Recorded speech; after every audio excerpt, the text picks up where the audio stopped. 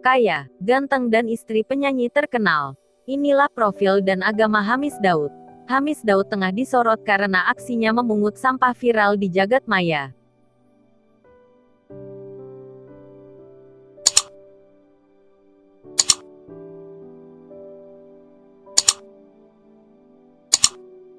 Akibat hal itu, Raisa Andriana ikut mengomentari perilaku sang suami yang mampu membuat hati perempuan meleleh melihatnya. Nama Hamis Daud juga berada di jajaran trending topik Twitter pada Selasa, tanggal 16 Februari tahun 2021. Ingin kenal lebih dekat dengan Hamis? Hamis Daud memiliki kepedulian tinggi ketika berkunjung ke salah satu minimarket. Dengan mengenakan masker, suami Raisa Andriana ini tampak memungut sampah plastik yang tersebar di luar minimarket. Video ini pertama kali diunggah oleh pengguna TikTok yang tidak sadar bahwa pria dengan kemeja hitam itu adalah Hamis Daud. Hamis Daud memiliki kepedulian tinggi ketika berkunjung ke salah satu minimarket. Dengan mengenakan masker, suami Raisa Andriana ini tampak memungut sampah plastik yang tersebar di luar minimarket. Video ini pertama kali diunggah oleh pengguna TikTok yang tidak sadar bahwa pria dengan kemeja hitam itu adalah Hamis Daud. Iseng ikut mak ke minimarket, terus malah jadi ketemu mas tampan ini. Karena kepo dia siapa, gue sampai nungguin dia keluar dong.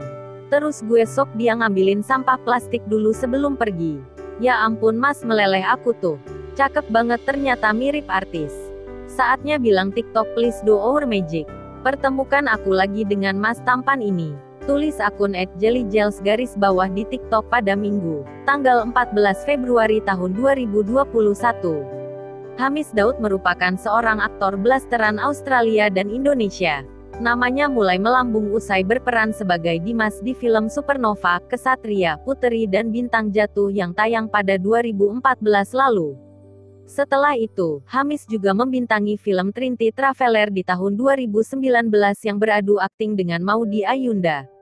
Selain dikenal sebagai aktor, Hamis cukup sering muncul di layar kaca sebagai presenter. Dia juga beberapa kali menjadi bintang iklan sejak memulai debut pada 2013 silam. Selain terjun di dunia entertainment, Hamis juga memiliki bisnis. Aktor sekaligus arsitek ini memiliki bisnis desain interior dengan temannya. Dikutip dari Viva pada Selasa, tanggal 16 Februari tahun 2021, bisnis jasa interior dan konstruksi tersebut diberi nama Saka dan telah berdiri sejak tahun 2000 silam. Hamis Daud sering membagikan potret alam di Instagram. Dia rupanya tergabung dalam organisasi kelestarian lingkungan laut, Indonesian Ocean Pride. Bersama dengan organisasi tersebut, Hamis ingin masyarakat lebih mencintai alam agar memberikan kebaikan pada mereka. Keikutsertaannya sebagai pejuang lingkungan pun dikatakan agar generasi mendatang dapat menikmati keindahan alam. Tidak banyak yang tahu bahwa Hamis Daud pernah kecelakaan beberapa tahun silam.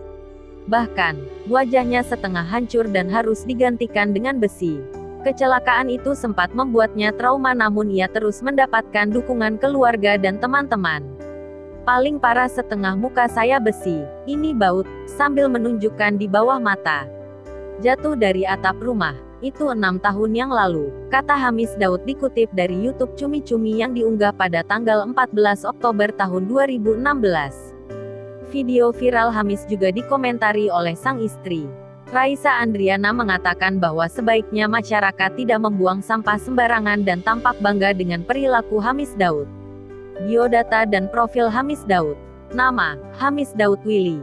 Nama panggilan, Hamis Daud. Tempat, tanggal lahir, Australia, tanggal 8 Maret tahun 1980. Usia, 40 tahun. Pekerjaan, aktor, pebisnis, arsitek. Agama, Islam. Pasangan, Raisa Andriana, menikah 2017.